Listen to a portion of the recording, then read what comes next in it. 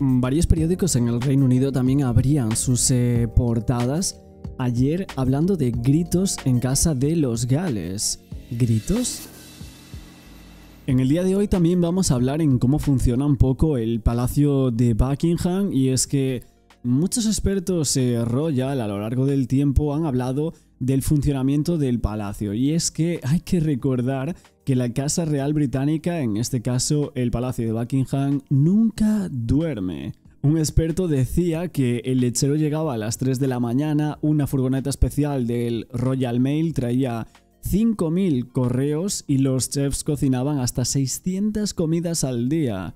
La verdad es que todo esto es una burrada, está abierto las 24 horas del día y los 7 días de la semana, 24/7 y, la puerta lateral por donde entra y sale todo el personal nunca se cierra en todo el día. Es por esa puerta. Es por esa puerta por donde llega el flotador de leche a las 3 de la mañana directamente desde el Royal Dairy de Windsor, donde las cifras de las botellas se cambian desde el momento en el que murió la reina Isabel II. Se cambiaron a las cifras K11R. Todo esto después de, de la muerte de Isabel, como os digo, una furgoneta del Royal Mail llega con el correo diario de hasta 5.000 artículos de cada vez para que los secretarios privados que normalmente llegan antes de las 7 de la mañana puedan revisar cada carta y elegir cuáles colocar ante su majestad cuando se sienta en su escritorio a las 9 y media de la mañana.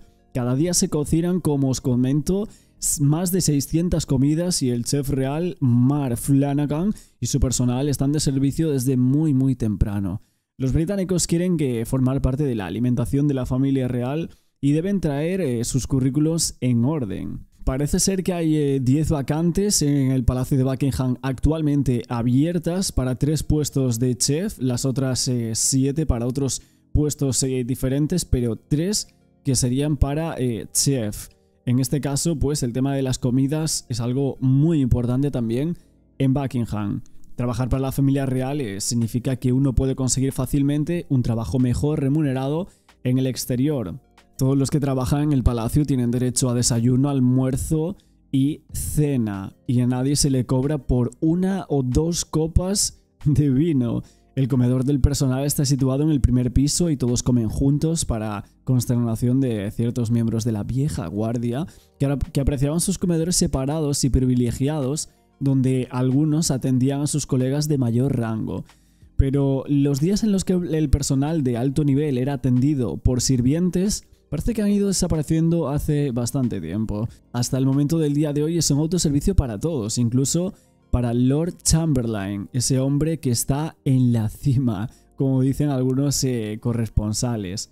Pero persiste cierta discriminación, ya que depende de su estatus, donde se sienta ahí con quién cada uno, y a un paje de cámara jamás se le ocurriría compartir mesa con un lacayo recién llegado, pero es posible que, se encuentren uno al lado del otro sosteniendo bandejas en la fila para recibir comida. Aunque había dos cocinas, había una reservada para la familia real y otra para el personal. Hoy dicen que solo hay una en Buckingham.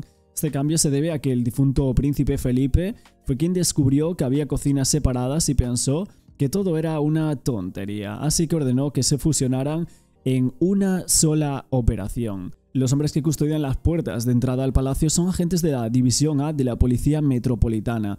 Técnicamente no serían miembros de la Casa Real, aunque algunos pasan la mayor parte de su tiempo en palacio. Tienen su propio comedor independiente en un recinto privado donde los eh, terrenos eh, del palacio, todos los lacayos y criados solteros deben vivir allí y su alojamiento está en el piso superior con las mujeres en una esquina y los hombres lo más lejos posibles. Llegados a este punto, tenemos un poquito más de información sobre cómo se maneja día a día el palacio de Buckingham, ese palacio que recibe tanta gente para hacer fotos desde fuera de todos esos turistas y que un día a la semana pues también tenemos eh, fuera del mismo y que muchos también van a ver ese cambio de guardia tan famoso en todo el mundo. Ninguna de las habitaciones del palacio para el personal tiene baño, por lo que suele haber prisa por ir al baño temprano en la mañana. Y una de las bromas favoritas es de decir a los recién llegados de que si quieren ser aceptados en la casa real, deben correr desnudos por los pasillos y las dependencias femeninas. Esto dicen algunos eh, autores reales que han hablado con muchas personas dentro de, del Palacio de Buckingham. De hecho, Edward Griffiths, que fue entonces un jefe adjunto de la casa, habló muchas veces, eh, caminando incluso por lo que son las galerías de, imágenes del Palacio de Buckingham, y contaba también muchas de estas cosas a los eh, periódicos digitales del Reino Unido. Es verdad que la mayoría de los principiantes dicen que caen incluso en esa trampa, solo para descubrir que cuando regresan a su propia habitación, la puerta está cerrada con llave. Algunas de las mujeres participan incluso en la broma y toman fotografías que luego circulan. Dicen algunos que hay anécdotas de que el príncipe Andrés cuando era joven supuestamente disfrutaba mostrando alguna de estas eh, fotografías a sus amigos. Entonces, salvo esa cruel iniciación, hay mucho que disfrutar trabajando en el Palacio de Buckingham o en el Castillo de Windsor. Yo os pregunto a vosotros, ¿os gustaría participar en alguno de estos eh, trabajos en Buckingham? ¿Trabajaríais para la Casa Real Británica? Mm, varios periódicos en el Reino Unido también abrían sus eh, portadas ayer hablando de gritos en casa de los Gales. ¿Gritos? Eh, la verdad es que esto resultaba como muy llamativo, eh, diciendo que había gritos en la casa ¿no? de, de, William y de Catherine Middleton. Algo súper extraño que, no se entendía muy bien el porqué de estas noticias. De hecho, empezaron ya las teorías a surgir Ayer daba por aquí un vídeo de ciertas informaciones que habían salido en su momento y que salía Catherine, ¿no? Con, con diferentes modificaciones en su rostro y demás. Realmente todo esto viene precedido por, me parece que un artículo del periódico The Sun que revelaba que había una estricta exigencia dentro de la casa de los Gales. Todo esto era para mantener en calma su hogar. Esta exigencia retomaba algunas eh, declaraciones de una fuente muy cercana a la familia real británica de que algo eh, pasaba dentro de la casa en cuanto a unos gritos. Esto era realmente por gritos de los niños, y es que Catherine Middleton no toleraba en su hogar los gritos. Esto lo había dicho una fuente cercana a la familia real británica, que junto con el príncipe William querían implementar como esa contundente regla para suprimir ese tipo de acciones entre los tres hijos, ¿no? Entre George, Charlotte y Louis, que los gritos estaban absolutamente prohibidos para los niños. Esto aseveraba la fuente real diciendo que muchos medios habían especulado pues en torno a, lo que serían esos gritos y si realmente pasaba algo entre la pareja, que esto es algo que, suele suceder entre las eh, parejas eh, que a lo mejor podría haber algún tipo de discusión eh, en este caso y que podría llegar a ser por eso. De hecho, se llegó a rumorear y Tom King creo que lo puso de manifiesto en alguno de sus eh, libros que decía que, que había como muchas peleas entre los gales que se lanzaban cosas y demás. príncipe William y Kate Middleton protagonizaron agresiva discusión con ofensas y gritos. Recientemente, se ha dado a conocer que el príncipe William y su esposa Kate Middleton habrían estado discutiendo de la peor manera posible. Se gritaban insultos y se lanzaban objetos mientras discutían. Un ex empleado del Palacio de Buckingham relató a los medios locales que los príncipes de Gales discuten y se pelean de una manera muy agresiva.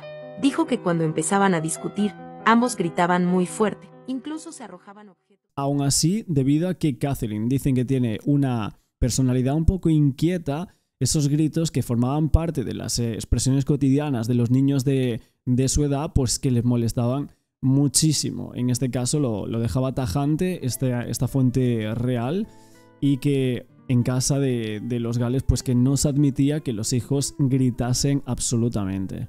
Ahora más que nunca que la princesa de Gales necesita estar inmersa en un ambiente pacífico totalmente para que su recuperación suceda lo más rápido posible para poder verla de nuevo y que pronto pueda estar en sus rutinas habituales, por lo cual sería óptimo que estableciese límites claros para la crianza de sus hijos de 10, 9 y 5 años. La misma fuente revelaba al periódico The Sun esa regla de no gritos de Catherine también indicaban al diario la amenaza que lanzaba la princesa para que sus hijos ajustasen su comportamiento y se acotasen a esa regla diciendo que cualquier indicio de voces altas entre ellos se resuelve con una expulsión. Esto aseguraban eh, estos miembros cercanos a la familia, afirmando que, que también podría romperse la regla si William y Catherine optaran por tener una charla en el sofá con eh, un volumen bastante grande y que fuesen el infractor de esta regla. Es cierto que los niños son bastante traviesos, ¿no? Que deben salir de la habitación para evitar cualquier tipo de pelea, que se corta por lo sano para que ellos hablen con calma sobre lo que ha ocurrido y que se les explican las posibles sanciones y se les describen las consecuencias al momento.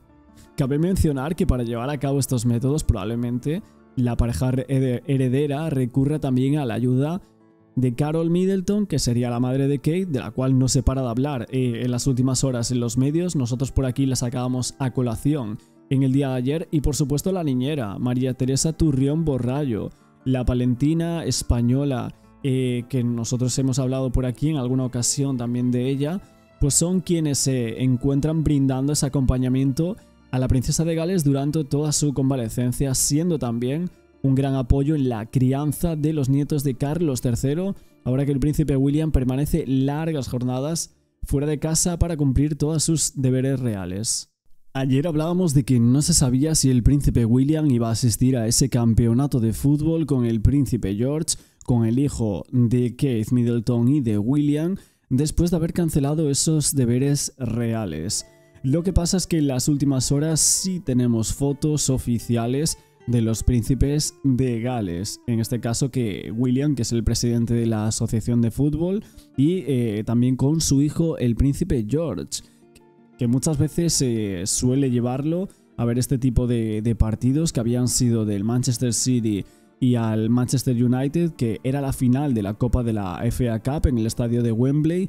Hubo muchísimas personas en este estadio y William pues estuvo pasando un sábado deportivo con el príncipe George, con, el hijo eh, mayor de los Gales, en este caso evidentemente sin Keith Middleton, y hay algunas eh, fotos tomadas en el estadio de, de los Gales que habían saludado a los equipos antes del partido y habían estrechado la mano al mediocampista ofensivo Bruno Fernández y también incluso al entrenador Ten Hag y al mediocampista del Manchester City, Phil Foden. Decían que no iba a acudir y luego tenemos eh, hasta fotos de él con una alfombra roja yendo a saludar a, todos, los, a todos los jugadores de, los equipos. Algo sumamente extraño porque se decía, no, William no va a aparecer eh, en este partido y es algo súper extraño. Lo estábamos viendo ayer los medios de comunicación del Reino Unido y esta salida se produce después de que eh, otros miembros de la familia real, incluyendo él, cancelaran compromisos eh, planeados de esta semana. Después de que el primer ministro, el Rishi Sunak, convocara esas elecciones generales sorpresa, el Palacio de Buckingham anunciaba el 21 de mayo que la realeza pospondría las salidas que pudiesen parecer desviar la atención o distraer la atención de la campaña electoral. La realeza que constitucionalmente no es política, tradicionalmente deja el espacio público a los, a los partidos políticos del país durante estas campañas. Entonces sus majestades se habían enviado esas disculpas eh, a cualquiera que pudiera haberse afectado por la decisión, pero sin embargo hay algunos eventos como por ejemplo este que estamos viendo hoy con William y con el príncipe George en los cuales eh, sí estaban admirando esa copa de la FA Cup, la cual había ganado el Manchester United.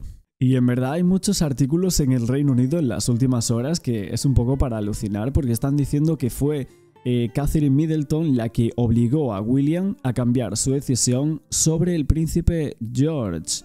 Esa decisión de llevarlo o no a ver ese choque, ese enfrentamiento entre el United y el City por esa copa, y parece ser que según estos informes que, están colocando en UK, que fue Kate la que obligó a llevarse a su hijo a ese partido. O sea, una fuente real está confirmando que, que el príncipe de Gales quería que George se quedara en casa con Catherine para disfrutar de unos momentos con su madre, pero que Kate obligó a William a cambiar esa decisión. Que tanto William como George son fanáticos del fútbol y que Kate sabe que, que lo pasarían genial allí en medio de esas eh, continuas preocupaciones por su salud. Las eh, fuentes también confirman que George quería que su madre se uniese a ellos.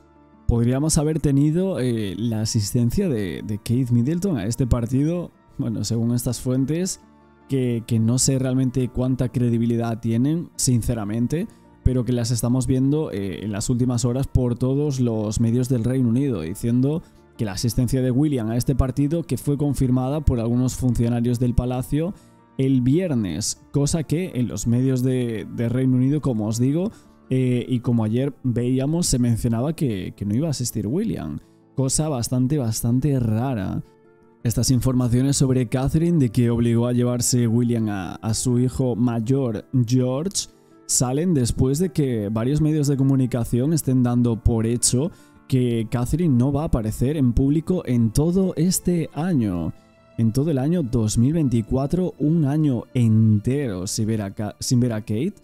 Para la gente esto eh, le parece bastante complicado que se vaya a dar un poco de, esta forma. De hecho, el 7 de junio se decía que podría ser que acudiese a la boda de Hugh Grosvenor, que es ese amigo de los Windsor, el padrino del príncipe George y considerado durante mucho tiempo la mejor pareja de Inglaterra, pues se va a casar con Olivia Henson en esa catedral de Chester y pues la gente está diciendo incluso que si podría llegar a ser que William eh, fuese sin su esposa Catherine. Y es que, como os digo, el The Times, el periódico de la corona, según esas eh, informaciones que salían en este periódico, decían eso mismo, que Catherine estaba sometida a quimioterapia desde marzo y que realmente que no iba a asistir a lo que sería esta boda tan esperada de dentro de tan solo unas semanas. En el día de ayer, sorprendentemente, el periódico The Times, por, este, por otro lado, mm, decían que había una nueva persona dentro de la familia real, una nueva cara. ¿De quién estaría hablando este periódico? Pues era de la princesa Beatriz, la hija de Andrés de York y de Sarah Ferguson, pues dicen que mientras el rey y la princesa de Gales se enfrentan a este, a este tratamiento, pues están sacando aquí a, Beatriz de York de una forma eh, un tanto peculiar, podríamos llegar a, decir, y que dicen que necesita un gran apoyo, ¿no? Y en este momento pues están dando como a, a Beatriz de York, que hace unos días o hace una semana había estado en This Morning de ITV, esa eh, cadena de televisión del Reino Unido, hablando eh, en una entrevista para ese medio de comunicación, aunque realmente Beatriz tiene 35 años, no es miembro activo oficial de la familia real, pero cada vez dicen que proporciona más apoyo crucial para la firma. Le están haciendo aquí pues una entrada a, los eh, actos y distintos apoyos reales de, de los últimos días tremendos, ¿no? Porque mientras que el rey y Catherine están convalecientes y no tienen muchos actos públicos, en este caso Catherine ni uno solo, pues habían sugerido que la hija del duque y la duquesa de York asumiese muchas más funciones oficiales o incluso que recibiese dinero público por hacerlo. Esto cosa que no pasaba hasta este momento y es bastante curioso como le están dando esta cabida en medios como The Times colocando titulares de que es la nueva Royal. Hace unos días se hablaba en medios y no de Reino Unido, sino un poco desde fuera, ¿no?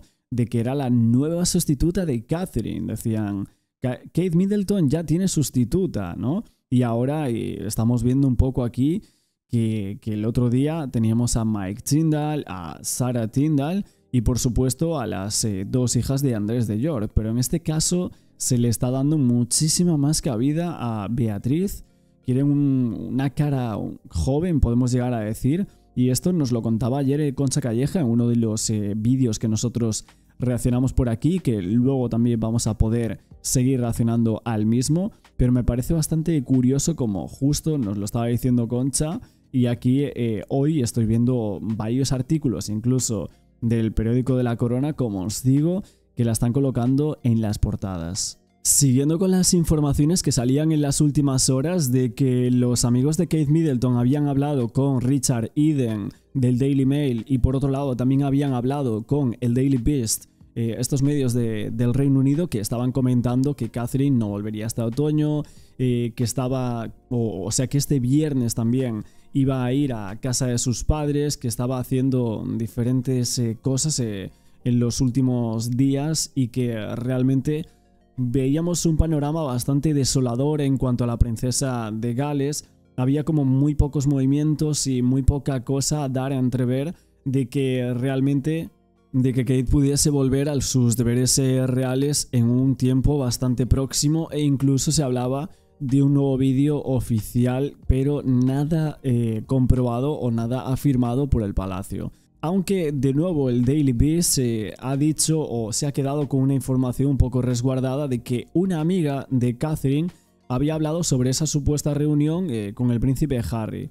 Porque hasta el momento William dicen que no va a haber reconciliación, que no iba a encontrarse con él a mitad o a largo plazo, a mitad o, a corto plazo en este camino de la realeza, que no iba a haber reconciliación, pero aquí es cuando esta amiga hablaba de Harry en torno a Catherine. La amiga había dicho que eso sería una fantasía, que no se trataba de disculpas o de quién dijo que, se trataba de proteger a su familia, que Kate se estaba recuperando del cáncer y estaba evitando esas situaciones tan estresantes.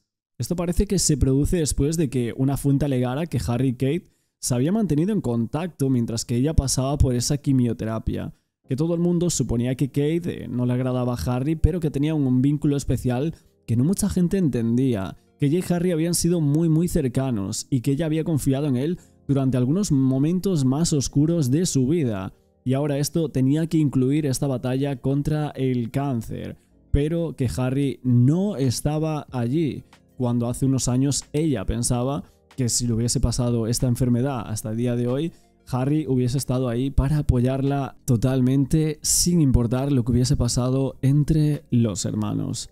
Y ahora es cuando esta amiga de Catherine y de William, que está hablando con el Daily Beast, está diciendo que, que la pareja se ha cansado de como esa disputa familiar que ha dominado muchísimos titulares en los últimos años y en consecuencia estarían evitando relacionarse con Harry o Meghan o esa búsqueda de titulares de muchos de los medios de comunicación internacionales y que incluso eh, cuando aumentaban algunos informes que sugerían que Harry eh, y el rey Carlos habían estado reconstruyendo su relación, que William parecía querer mantenerse muy distanciado.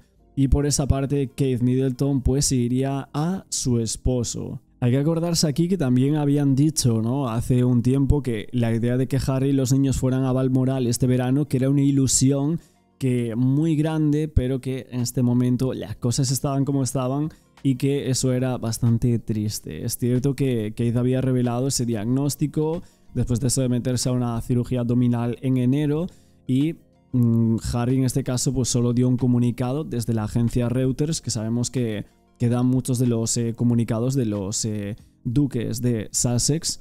Y luego provocaba también ese breve regreso de Harry al Reino Unido por eh, el anuncio del cáncer del rey Carlos, que fue un anuncio muy gigante, porque que un monarca anuncie eso, pues fue también muy, muy mediático, no tanto como lo de Catherine, porque realmente el vídeo del cáncer vino precedido por una serie de rumores, una serie de informaciones tan tan gigantes que, que abultaron todo ese anuncio en demasía.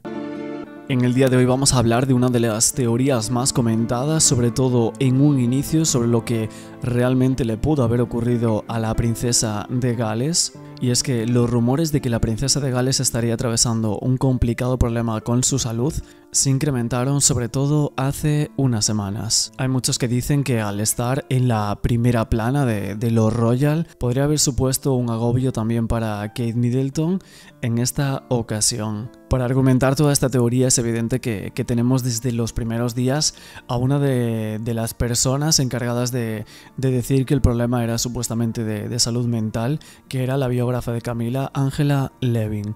Sí que es verdad que este es un tema bastante complejo de, tratar. Simplemente vamos a, ceñirnos un poco a lo que está en las redes y lo que se había dicho también en distintos programas. De hecho, había hasta rumores en internet que hay tantos, pero uno de ellos habría sido que se había descubierto que supuestamente la princesa de Gales que no habría sido internada por una cirugía abdominal, sino que por otra cosa.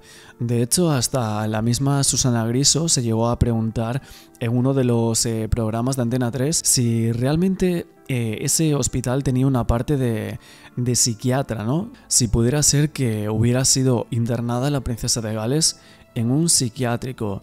Esto eh, simplemente son rumores, pero que incluso llegaban a la televisión pública en España, ¿no? Que nosotros reaccionábamos por aquí en alguna ocasión. Porque ayer se nos insinuaba por parte de, ABC, bueno, este fin de semana, que eh, tal vez el motivo de la baja de Kate no es solo físico, que tal vez hay cierta depresión o cierto malestar por un problema, por una crisis matrimonial. Entiendo que en el Reino Unido esas especulaciones esas especulaciones no existen en absoluto. Lo único que se atreve a decir a la gente es que qué puede ser, si puede ser una hernia, un divertículos, como eh, eh, intentando imaginar qué enfermedad la ha podido tener, pero desde luego no parece que sea una enfermedad. Por lo tanto, fue una teoría que fue cogiendo fuerza, sobre todo en las últimas semanas. De hecho, hay hasta personas que, que comentan que pudo haber sido esto y otra cosa, que serían varias cosas juntas las que le habían ocurrido a Kate Middleton y que por eso habrían dado un margen bastante amplio para la recuperación, porque estos temas de, salud mental son, son bastante complicados, ¿no? La gente que, que, atraviesa este tipo de. La gente que atraviesa, ¿no? Este tipo de, de situaciones y, y de problemas son muy jodidos y realmente que por eso la teoría lo que argumenta es que por eso habrían dado ese margen de tiempo de varios meses hasta que volvamos a ver a la princesa de Gales. En cuanto a lo del psiquiátrico que yo os decía, esto se empezó también a, publicar después de, esos, eh, de ese programa de televisión de, de, Concha Calleja que estuvo en el programa Fiesta y que me parece que va a ir cada domingo porque este tema está siendo muy muy comentado también por los medios españoles. Pero cuando Concha Calleja dio esa información de que estaba mintiendo, de que según Daily Mail ella había salido de su casa, había ido a visitar a Carlos III, pero que eso era mentira y que Kate Middleton que estaba empeorando, que ella no mejoraba como pensaban que iba a hacerlo. Y después de ese programa y esa información de Calleja, algunos medios llegaron a publicar que Kate Middleton supuestamente podría estar internada informaciones que fueron tiradas a la basura, ¿no? Como decían, como diría en Inglaterra, thrown into the trash. Pero sí que queda por aquí un medio que sería la revista Caras, que comunicaba hace ya unas semanas que se había descubierto que Kate no había sido internada por esa cirugía y que los rumores eran que ella estaba atravesando ese problema de salud mental. Y es que claro, aquí con este título de se descubrió internada y que no fue la cirugía que nos estaban comentando, esa operación, básicamente lo, los rumores llegaban a decir que el término internada era de estar internada en un psiquiátrico. Como siempre digo, estos son rumores y especulaciones que hay eh, en las redes sociales en, en, torno al estado de salud de, la princesa. Ya en el año 2019, cuando ella era duquesa de Cambridge, se preocupaba por su salud mental. Revelaban que Kate había asistido a terapia varias veces con un psiquiatra y que salía recientemente a la luz eh, en alguno de los eh, medios públicos que Kate había asistido con un psiquiatra. La futura reina de Inglaterra y su esposo William habían sido muy activos en algunas campañas enfocadas en la salud mental y la verdad es que esta información había sorprendido a los seguidores de la corona, tal y como está pasando actualmente cuando se llegó a decir todo esto sobre el estado de la princesa. De hecho, también hace unos años, eh, el mismo hermano de la princesa de Gales dijo que ella lo había acompañado varias veces a terapia para combatir su depresión, ya que lo estaba afectando en todas las tareas que trataba de emprender. Hay otro artículo que se llega a preguntar los motivos por los que Kate Middleton no contó su problema de salud a su círculo íntimo. Lo que pasa es que aquí ahora estábamos comentando que el hermano de James Middleton, James Middleton, habría contado que la misma Kate, su hermana, habría acudido con él a diferentes consultas ¿no? sobre su salud mental y por eso también eh, es bastante extraño que saliera esta información de que no le hubiera contado nada a su círculo sobre esto?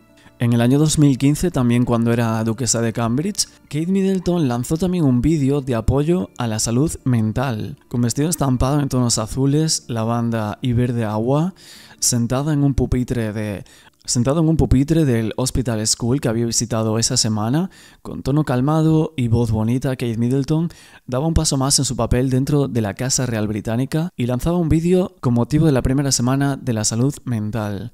Si bien acostumbrábamos a verla lucir estilo Royal en multitud de eventos, esa era una de las primeras veces que la habíamos visto hablar. La iniciativa, que era totalmente nueva en el Reino Unido, partía de la entidad Place to Be, una organización que proveía apoyo psicológico y emocional a los niños en las escuelas y que la duquesa apoyaba desde el año 2013. La intención era crear conciencia social sobre la necesidad de apoyar emocionalmente a los niños durante la infancia para evitar males mayores de la edad adulta. Middleton decía, no es un signo de debilidad pedir ayuda, tratando de borrar también esos estigmas que rodeaban los problemas de salud mental.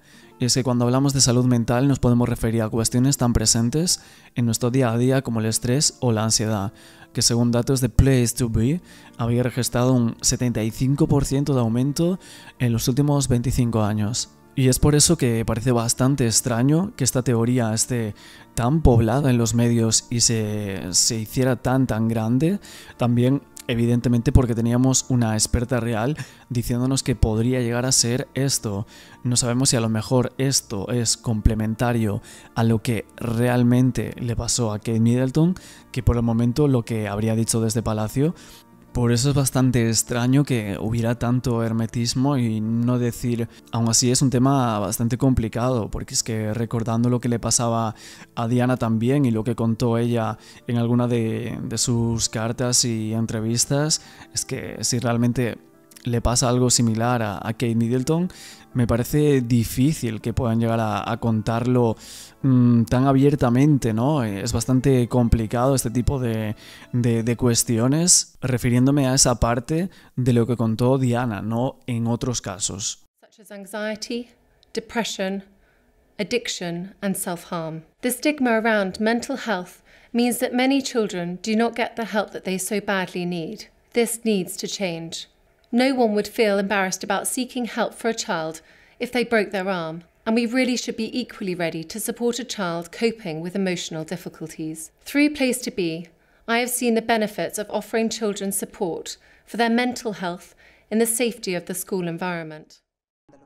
En algunos medios de renombre, como vemos, se está especulando con que realmente no nos están diciendo la verdad con Kate Middleton. Sí que es verdad que leyendo las páginas de, los periódicos o en España o incluso en el Reino Unido, no nos dicen realmente lo que piensan, pero si leemos entre líneas, podíamos llegar a especular cosas. Y es que si cogemos esa entrevista de Angela Levin que decía que el problema era salud mental, como habíamos comentado en anteriores vídeos, y ahora también se estaba hablando en algunos medios sobre que supuestamente podría haber un motivo de divorcio, que el matrimonio no iba bien. Algunos expertos reales lo comentaban, que esta relación que no iba bien, incluso un biógrafo real que hizo un libro hace un tiempo, decía que tenían muchas discusiones y que incluso se tiraban cosas. La doctora de medicina legal que hablaba para otro medio del Reino Unido hablaba de demasiado estrés que podría agravar esos problemas de salud de Kate Middleton y es que evidentemente las teorías que nos tenemos que hacer son bastante graves. Y es que si era un problema tan serio y se está hablando de divorcio, de salud mental y que supuestamente sería una mentira esa operación abdominal que la están usando como tapadera, entonces, ¿realmente qué le pasó a Kate? 2024 mm, no empieza bien para la princesa de Gales, como tampoco 2023, cuando de las páginas de Spare salían anécdotas familiares que no la favorecían, así como la opinión de Harry sobre su matrimonio. A principios de noviembre, el príncipe Guillermo viajaba a Singapur para entregar los premios Airshot que concedía su Royal Foundation. La princesa por su lado se quedaba en casa apoyando a su hijo George, que tenía un examen, ese era el relato oficial, que justificaba su ausencia mientras el heredero posaba ante los fotógrafos con la actriz Kate Blanket en Norfolk. A Kate Middleton la subían a un vehículo militar blindado de 7 toneladas, equipado con ametralladoras, vestida con casco, chaquetón de camuflaje y unos leggings negros y es que esa visita al cuartel Robertson no pasó desapercibida. Mientras hablaba con un soldado llevando su anillo de compromiso del que nunca se desprende, reflejaba la tristeza de una esposa de futuro incierto a la que le han asignado un papel no deseado. Expertos reales creen que el matrimonio estaría roto desde hace tiempo. Y es que días después, el 11 de noviembre, conocíamos que llevaba más de un año sin secretario privado y que para ese puesto quería contratar a un antiguo asistente personal de Isabel II, Tom White, un héroe de guerra que conocía bien el funcionamiento de la firma. En la cena con el presidente de Corea en Buckingham, la primera visita de un jefe de Estado después de la coronación, lucía una tiara y The Daily Mail publicaba que Kate había llegado en coche al palacio, desvelando que había llegado sola. Otro medio había sido más explícito el pasado 18 de agosto con el titular El matrimonio no es tan perfecto como parece. Incluso Tom King, como yo os decía en anteriores vídeos, el creador de Juventud Dorada, afirmaba que tenían broncas tremendas. Aparte de Mirror, también el pasado 26 de enero publicaba una información de hace años en la que decía que Ed Middleton había dado un ultimátum al príncipe Guillermo tras su inaceptable comportamiento. En diciembre, cuando nada hacía presagiar el ingreso hospitalario de Kate, el periodista Omi Scobie del entorno de los Axes elogió el aguante de la princesa diciendo, teniendo en cuenta las circunstancias en las que se encuentra, es casi imposible entender cómo no lo ha conseguido porque la mayoría de los seres humanos se desmoronarían bajo ese tipo de presión. Ojo aquí porque tenemos muchas fuentes, muchos medios de hace unos meses, de hace un tiempo, que estaban comentando estos eh, problemas en el matrimonio e incluso este periodista de ese entorno había dicho la frase teniendo en cuenta las circunstancias en las que se encuentra. Nos preguntamos qué circunstancias eran las que se encontraba Kay Middleton y cuáles son las que se encuentra ahora. De hecho, el autor del libro Endgame, que había hecho una entrevista y un comentario bastante polémico, añadía que la princesa se encontraba en una situación muy delicada, que no había que olvidar que estaba al servicio de la institución. Como vemos, están por aquí hipotetizando una cosa bastante grave y muy seria en cuanto a la monarquía británica y lo que realmente le pasaba a Kate Middleton, que esto sería ya desde hace un tiempo que venía arrastrando algo. Y evidentemente si nos vamos a las palabras de estos periodistas y también a la de la biógrafa real Angela Levin, el tema sería salud mental y que por eso no quieren decir lo que le pasa realmente a Kate Middleton. Tom Frost, profesor de Derecho Constitucional, no puede confirmar si los periódicos británicos tienen prohibido publicar sobre la vida privada del príncipe Guillermo debido a una super injunción porque estaría cometiendo un delito y podría ser multado o encarcelado. Se mantiene así el pacto de la prensa con la firma. Los periódicos reciben contenidos y a cambio secundan la política de comunicación de la monarquía. Todo esto, unido al derecho de la intimidad de la paciente, explica cómo están abordando los medios la enfermedad de Kate Middleton. Transparencia informativa en torno a la salud del rey, en contraste con el vacío informativo acerca de la princesa de Gales. Es obvio que esto parece ser el relato que interesa a Palacio y que perjudica a la princesa.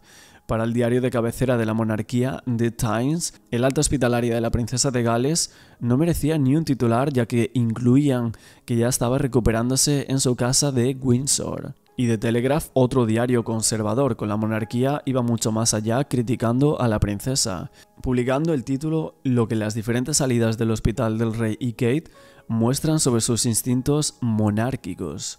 En el año 1932, el escritor inglés Aldous Huxley predijo en su novela Un mundo feliz que el aspecto más característico de la modernidad sería la falsedad. Pero bueno, hoy sí que lo vamos a dejar por aquí en este vídeo un poco más corto, hablando de, de lo que sería la Casa Real Británica. Muchísimas gracias como siempre, no olvidéis el like, suscribiros a este canal con la campana y luego nos vemos con un próximo vídeo un poco más tarde.